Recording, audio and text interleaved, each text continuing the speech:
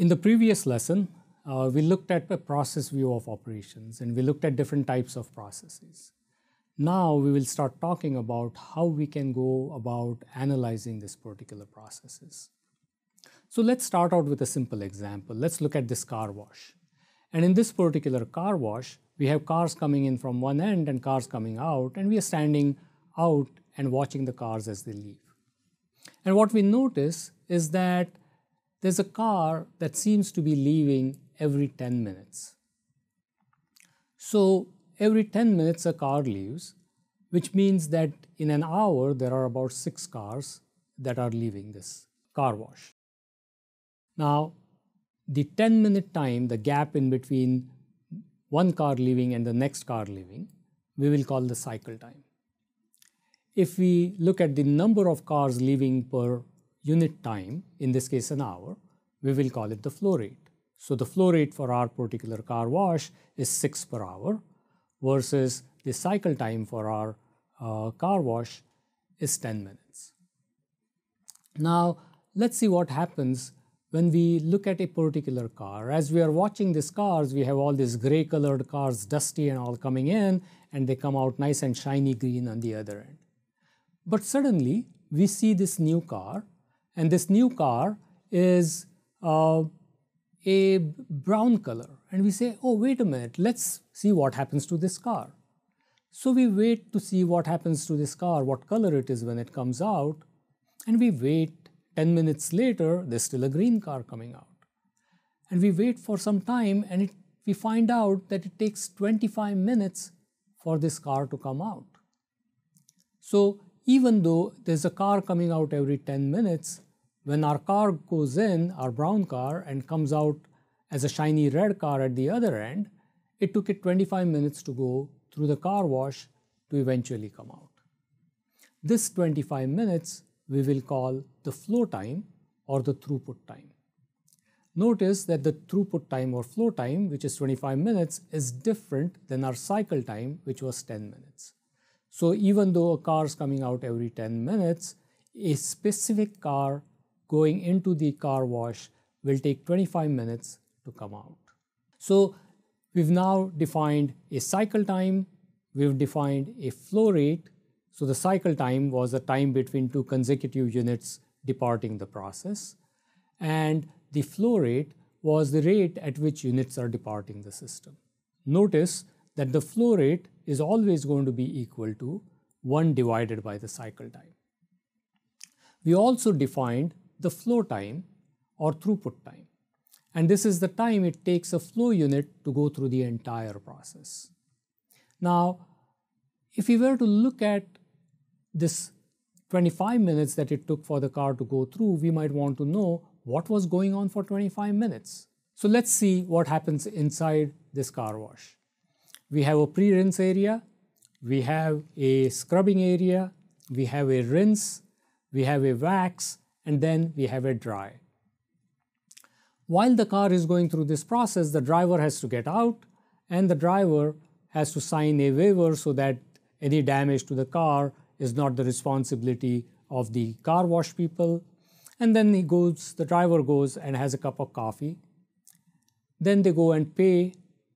But all of that requires only 11 minutes. And so then they have to wait.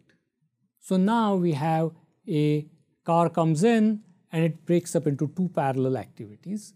In one activity, the car is actually going through the wash. In the other case, the driver is going through some steps before the two join together and they leave. Now, in this particular case, when we have to calculate the flow time, even though there's a lot of activities that are going on, some of these activities are in parallel. And so to find the flow time, we look for the longest path of any of the split units that we have. So in this particular case, the longest path still remains 25 minutes, uh, even though we had the driver uh, had to get out and do some extra activities, but they were being done while the car was being washed, and so there is no difference in the flow time. So what happens now if we start thinking in terms of the same definitions of flow time, flow rate, and throughput time, if instead of looking at it from the entire process, if we start looking at it for each individual activity inside the process. Now remember that as, as a process, we can think of any subset of these activities as long as they are contiguous, one after the other. And we could think of that as a sub-process and then study it as a process. And so anything that we've said about the entire process would apply to the sub-process. And since a single activity is a special case of a, of, of, the, of a sub-process, anything that we've said for the entire process also applies for the activity. So for an individual activity, the cycle time is simply the processing time for that activity. Similarly, the flow rate is 1 over the processing time or 1 over the cycle time for that activity. So the definitions carry over when we look at it in, from an activity point of view. Now, what happens if we have more than one station which does the same activity?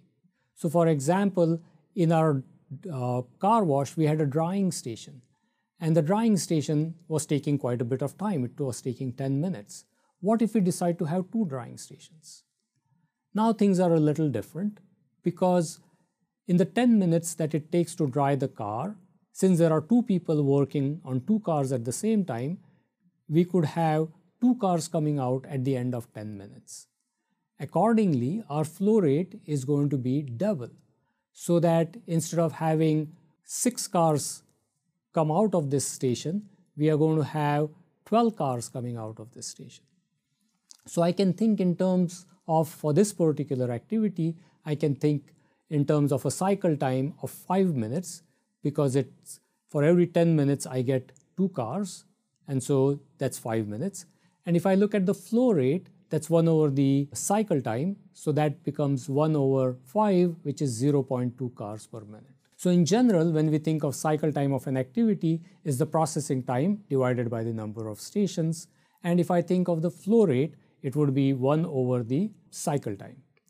The flow time of the activity, however, doesn't change. The flow time is still 10 minutes because any single car coming into this activity, when it leaves the activity, will still take 10 minutes to go out. So the flow time doesn't change, but the flow rate does change and the cycle time changes. A very special case of multiple stations is when we think of batch processing. So suppose we were we had to bake 50 cookies and we have to bake 50 cookies at a time in the oven for 20 minutes. Not being a cook, I'm not sure whether 20 minutes is too long or too short. I might end up burning them to a crisp, but suppose that happens.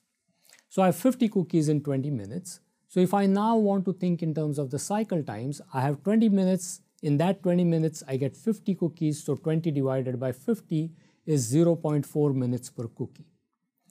And the flow rate then is the reciprocal of the cycle time, which is 1 over 0.4, or I'm getting 2.5 cookies per minute. Once we've looked at all the activities, what we will notice is that certain activities have larger cycle times than other activities. Or in other words, they may have smaller flow rates than other activities. The activity which has the smallest flow rate is called the bottleneck activity. Similarly, if it has the longest cycle time, we'll call it a bottleneck activity. And since they are reciprocals of each other, it always means the same thing. Now, it's possible that there are multiple such activities in our process which have the largest uh, time and in which case all of them will be called bottleneck activities. Let's take an example. Uh, in this example, job applicants are coming for a warehouse position and they have to undergo a medical examination as shown in the figure. There are several different steps in this medical examination. In fact, there are eight steps, starting with a check-in, then they go on and give a uh, fluid sample the fluid sample is sent for testing. The applicant uh, himself or herself has to then go on and be physically evaluated. Then they go and see a physician, at which point the physician has all the evaluation of the applicant as well as of the fluid samples. And then they finally go and see the HR specialist to uh, find out if they've actually passed the medical examination. So if I look at each step, each step has a certain amount of time that it takes for a flow unit, in this case an applicant, to complete that particular step. And there may be multiple stations for that step. So check-in takes 12 minutes for an applicant. but there are three check-in stations. The next step, which is giving the sample, takes a smaller amount of time, 8 minutes, but there are two stations at this particular location. So given such a system, let's go ahead and figure out what our performance metrics are. We'll start out by looking at each activity and figuring out what the activity metrics are. So if you look at the figure, you will see that we have the processing times for each of the activities and we have the number of parallel stations for that activity. So M represents those number of parallel stations. Now we can calculate for each one of them the flow rate and cycle time. Let's take station 1. For station 1, there are three parallel stations and it takes 12 minutes of processing time. So the flow rate is m divided by pt, which is 3 divided by 12 or 0.25. Since the cycle time is the reciprocal of the flow rate, the reciprocal of 1 over 0.25 happens to be 4, and so that's the cycle time. We can similarly calculate activity 2, activity 3, etc. and we can calculate their flow rates and cycle times. Notice that activities 5 and 7 have a cycle time of 10 minutes each. They have a flow rate correspondingly of 0.1. So they have the slowest flow rate and the largest cycle time. So activities 5 and 7 we will call our bottleneck activities. Once we have identified our bottleneck, it's very easy to figure out what the process metrics are. So we have the activity metrics, we now can figure out what the process metrics are. The bottleneck activities we said were activities 5 and 7, and so the process cycle time is the same as the cycle time of the bottleneck activity. And so the process cycle time in this case then is 10 minutes, and the process flow rate is 1 over 10 applicants per minute. What's the flow time for this particular operation? So if we look at this particular process as a whole, we can look for the longest path through this process. So if we look at activities 1, 2, 3, 4, 7, and 8, then if we add up the processing times of those activities, we get 65 minutes. That is the longest path through this particular process. And so the flow time for this particular process is 65 minutes. This says that an applicant who enters the process will take 65 minutes to complete this particular process. This is an easy way for us to now analyze any operation to figure out the rate at which the process produces a product or produces service and the time it's going to take for a flow unit to go through the entire process. So by dividing it into activities, by studying each activity individually, and then looking at bottleneck activities, we are now able to figure out how much time it will take uh, to run this uh, particular process.